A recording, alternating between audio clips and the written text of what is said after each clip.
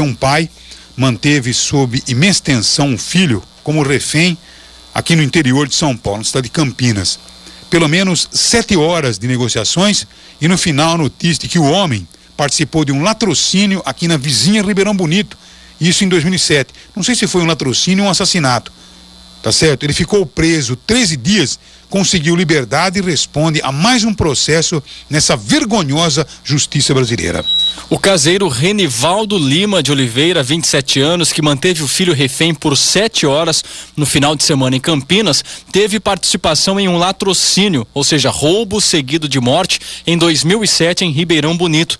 Renivaldo Oliveira foi condenado a pena de seis anos no dia 30 de setembro de 2009. O caseiro era vizinho da vítima, uma mulher que recebia pagamentos de aluguéis. Ele foi o informante e o olheiro do crime.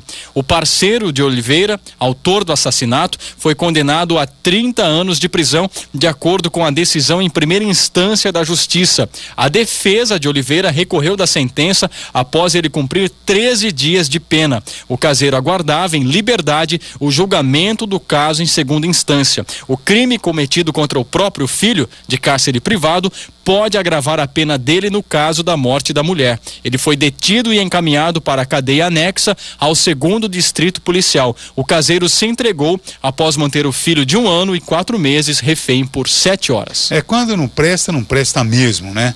A gente percebe que é, se envolve num caso aqui, se envolve no outro ali e vai se envolver a vida inteira. Por isso digo a você que nós é, deveríamos ter aí um sistema carcerário é, bastante justo é, que recuperasse o indivíduo, mas um sistema carcerário bastante rígido para que o elemento deixasse de brincar com tudo isso. E a nossa justiça, então, nem se fala, né? A lentidão com que trabalha é alguma coisa assustadora.